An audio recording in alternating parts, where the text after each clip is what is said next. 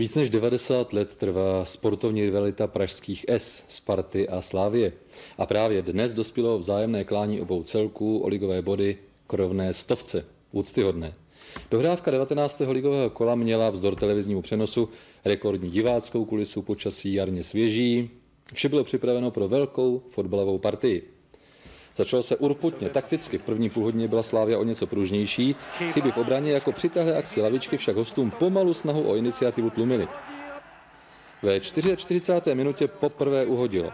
Skuhravý nádherně patičkou uvolnil Haška a bylo to 1 po změně stran se v 72. minutě vyznamenala stejná dvojice. Pas z Kuhravého našel rozběhnutého Haška, Janu byl i bez míče pomalejší a marná byla i snaha Veselého vyběhnutím zmenšit střelecký úhel 2 Dočkal se i Skuhravý. Tři minuty před koncem poslal lavičku v centr do sítě a pečetil tak výsledek. 3 pro Spartu. Na Dýmovnice to v derby skončilo smírně 1-1, ale tahle nerozvážnost fandů určitě nevyvolá smířlivou diskusi na půdě disciplinární komise. Škoda téhle skony na jinak velice přitažlivém derby. Ziskovou vodu postavil Spartu opět na nejvyšší příčku tabulky s 620 body a jednobodovým náskokem před Bohemians. Slávia zůstala 13. a má bodů 16.